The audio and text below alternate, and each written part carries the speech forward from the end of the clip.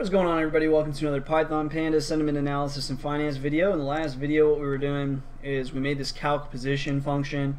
We have it mapping this function to a position column and then we finally have a column of change and this change column is actually where we will execute any change, so a buy or a sell. So if the change is minus 1, we'll sell a stock. The change was plus 1, we would buy a stock and so on.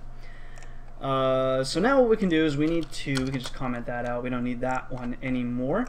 And at the bottom of, you know, at the end of single stock auto MA, what we want to do is actually have it return the current data frame. And that's it. And now what we're ready to do is define a back testing function that will use this data frame and test the data. So with that, let's go ahead and define back test. And back test is going to have three parameters. The first parameter is going to be datas. So what data are we passing through? Well, we're going to pass through data frame, or DF. Then we're going to have close i and change i. And this will just correspond to the you know index valuation of close and change. Like what column is it? Um, so we'll get to that in a moment. Now we're ready to define some starting off values here. So we're going to say stock holdings, and this is just going to obviously be how many stock are we holding. okay, so we start at zero, so we'll say zero. And then starting capital, and that's going to equal data's uh, close and the zeroth element there, so the first close value, times 8. So we're basically saying, what's the stock price? We want to be able to buy 8 to start, you know, so that's how many funds we're going to say we're starting with. And so we're starting with the first closing value times 8, and that's how many funds uh, are starting, how much starting capital we're going to start with, which leads us into funds, which currently is going to equal starting capital, but funds will change as we buy and sell stock, and then also stock holdings will change as we buy and sell stock. Now that we've done that, we're going to have current valuation, and current valuation is going to normally equal what is, um, you know, how many stocks, how many, how many stock are we holding times the stock price plus how many funds do we have, and that will be our current valuation. Um, so to start, it's funds because we have no stock holdings, so it doesn't matter. Now, uh, let's make some space here. Now what we're going to do is we're going to say, we're going to iterate through this data set. Okay, so what we're going to do is we're going to say for row in datas dot iter rows. And what this is going to do is literally, it's iter rows is iterate through every row in datas. And each row we're referencing, calling it row. so uh, what we're going to want to do here is try and accept. And for now, I'll just put a pass in that accept. And what we want to try is we're going to say index and data equals row. Now, what I'd like to do, let's see, because basically what this is going to do is unpack the two variables that are found in row. Data is going to be everything else besides the index, and index is going to be the, well, index, so the date. So I guess probably it would be useful to show what this currently looks like so we know what kind of data we're working with. And let me see if I have time imported or not. No. Let me go ahead and import time here at the top. And we'll come back down. There we go. Um, let's go ahead and just print row. So print row, and then we're just going to do a time sleep uh, 555. And we'll come down here, make bring this up, and we're to say um, data equals single stock auto MA. Instead of using Google, because Google's such a large uh, large one, let's go back to Bank of America again. Um, or we'll toss it up. We'll do Citigroup. And so we specify data. Now we specify back test. And the parameters for back test are going to be data, close i, is going to equal 3, and then change i is going to equal 11.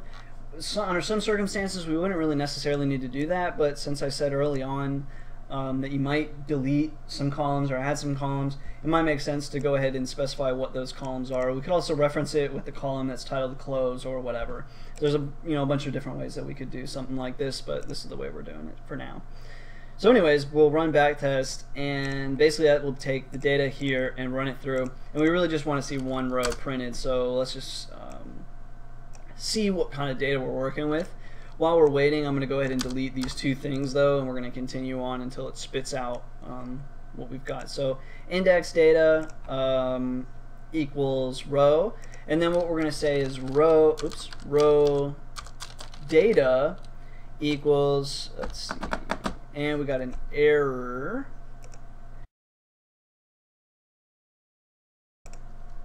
Okay, so I guess I'm just blind as a bat. Normally I spot this much quicker, but we said interrows, and instead it was iterows.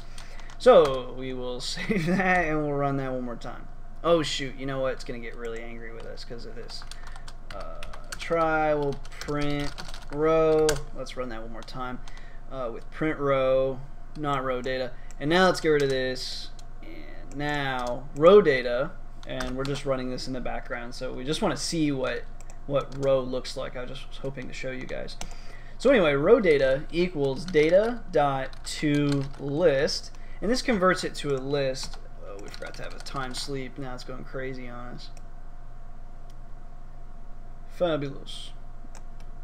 Oh my goodness. Okay, well I for forgot to hit sleep on it. So anyway, this is what a row looks like.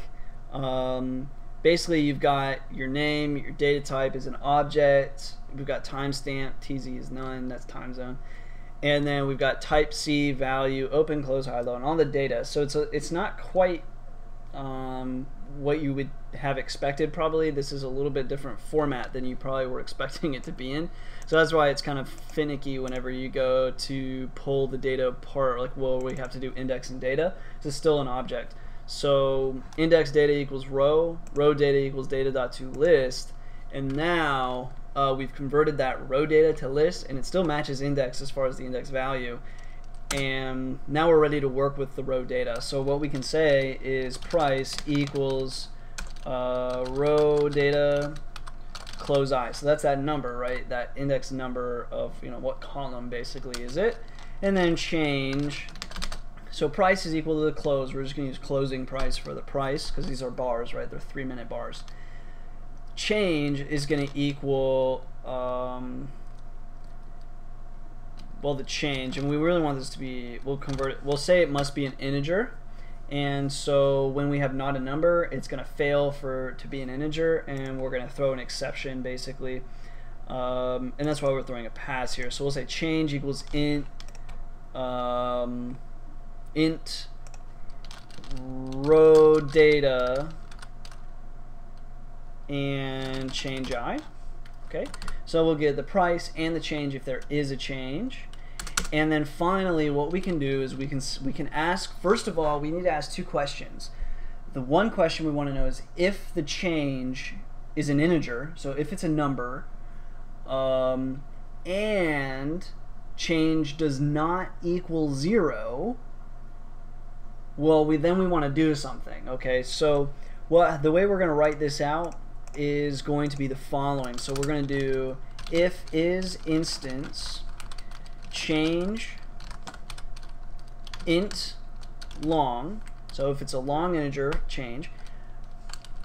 And change does not equal zero, what do we want to do? Well, if let's say change is greater than zero, that means we're thinking of buying. So if change is greater than zero, that means we need to um, execute a buy and we need to ask ourselves, can we execute a buy? So then we would want to say if change, actually, if change times price is less than the amount of funds we have. So basically, if we can afford to make the full buy that we want to buy, um, then we're going to say funds minus equals change times price. So let's withdraw the amount of money necessary uh, to make this purchase. When we've done that, stock holdings will be plus equals change. And then we'll say current valuation valuation equals funds uh, plus stock holdings times price.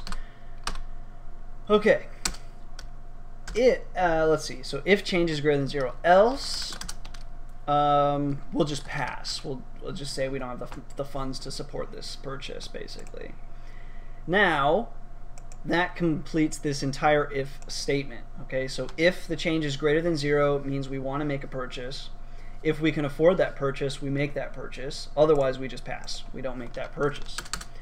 Now, elif change is less than zero. This means we want to make a sale. And so what we want to do, first of all, is right now the number is a negative number, but we actually want to sell a positive number. So what we're going to say is we're going to say if that's the case, then change is equal to the absolute value of change. So that will just remove any negative. Next, what we're going to do is we're going to ask the question if um, if stock holdings minus change becomes less than zero. So if our stock holdings, um, or if this change would make our stock holdings into negatives, oops, let me turn off my sound. What do we want to do? Well, then actually, let's say change equals stock holdings. So if we want to sell more stocks than we have, we can't do that, but we can sell all of the stocks that we have. So we'll do that in that scenario. If stock holdings currently equals uh, 0, then we'll just pass. And then else, um, and in fact, actually, well, here's what we'll do. We'll cut this, paste this. There, if stock holdings equals 0, we just pass. Um, elif stock holdings minus change equals zero, or minus change is less than zero, then we have to say change equals stock holdings. Finally, else.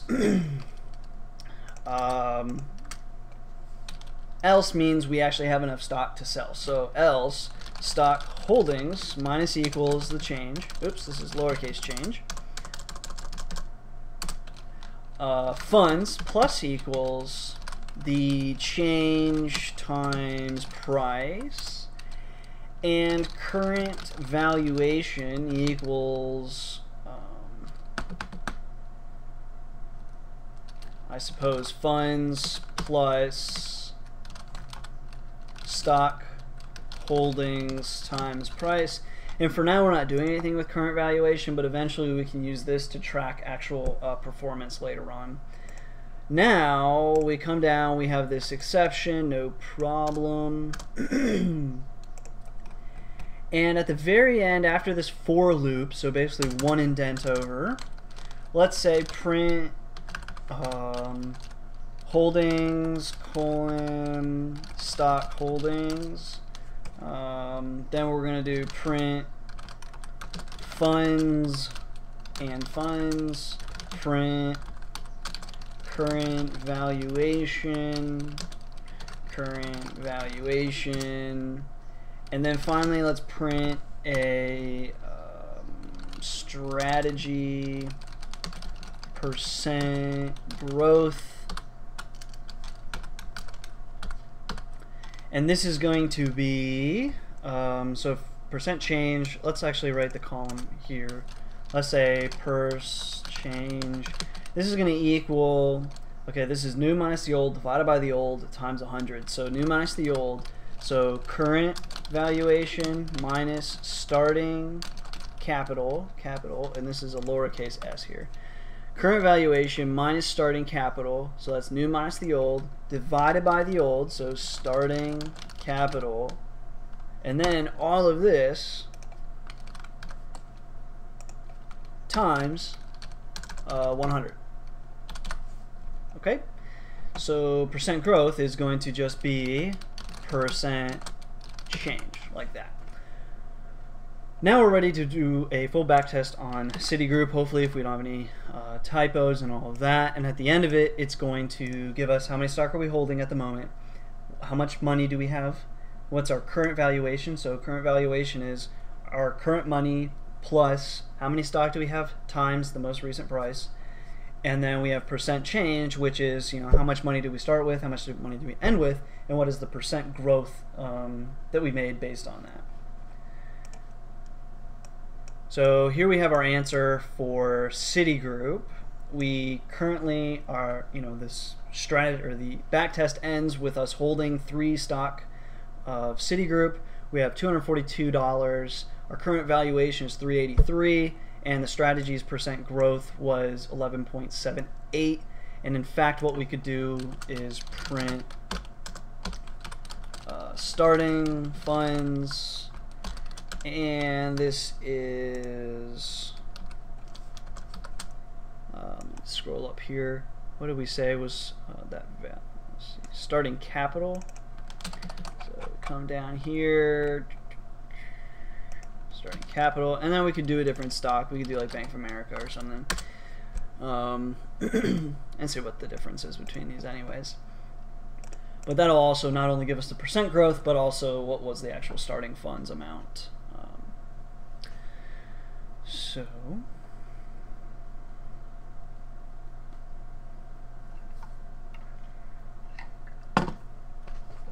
Okay, here we go. So we ended here this strategy with four Bank of America uh, stocks and $57 left over. Our starting funds were $96.72 and our ending funds were 121.9 uh, dollars with a strategy percent growth of 26 percent.